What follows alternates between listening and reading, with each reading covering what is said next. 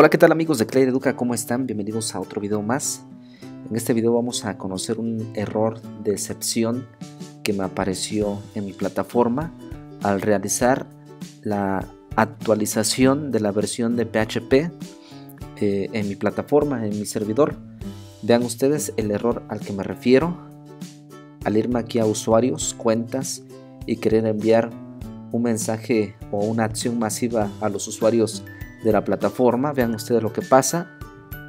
Me aparece este error de excepción que, eh, bueno, se visualiza debido a que yo realicé la actualización de la versión de PHP de mi servidor. Y bueno, las soluciones que encontré son dos. La primera, volver a la versión anterior de PHP que yo tenía. Y la segunda opción es que yo actualice mi versión de, de Moodle que tengo en mi plataforma. Si me voy acá a la opción de servidor en entorno, puedo darme cuenta de la versión que tiene mi plataforma. Tiene la, versión 3.1. Y si me voy acá a información PHP, puedo observar la versión de PHP que yo tengo configurada. Eh, a simple vista, este error que vemos nosotros acá de excepción es el único detalle a simple vista que, que me aparece al realizar esta modificación. Y entonces lo que voy a hacer es irme al cPanel de mi servidor aquí en software seleccionar esta opción para elegir la versión de PHP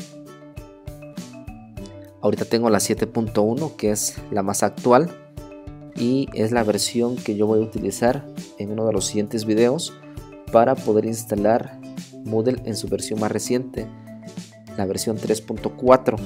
Voy a seleccionar la versión 5.4 de, de PHP y voy a darle clic a esta opción para que se establezca esta versión como la predeterminada. Vean ustedes, ya quedó. Ahora me regreso aquí a mi plataforma.